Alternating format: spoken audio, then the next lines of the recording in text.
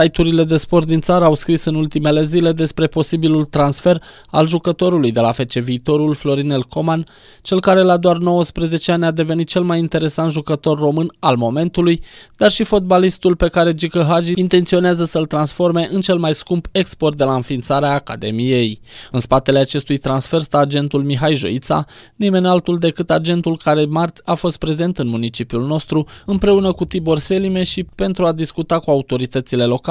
înființarea unei echipe de fotbal la Câmpul Lung, vizate fiind Liga a 3 și chiar Liga a 2 În interviul acordat pentru Mușel TV, viceprimarul Mărgărin Blidaru a acordat un procent surprinzător de mare pentru realizarea acestui proiect. Dacă am uh, socotit totul în procente, cam uh, care ar fi probabilitatea ca din toamnă uh, pe acest teren să se joace fotbal de Liga 2? Din punctul Cât meu de vedere, 99%. Mihai Joița este agentul ce are în palmares câteva transferuri de top în fotbalul intern, printre care Bugema, Gnoere și Tamuz, iar în această perioadă colaborează cu Academia de Fotbal a lui Gică Hagi.